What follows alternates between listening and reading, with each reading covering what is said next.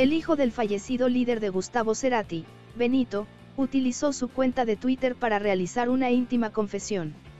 Hola. Soy Benito Cerati. Músico.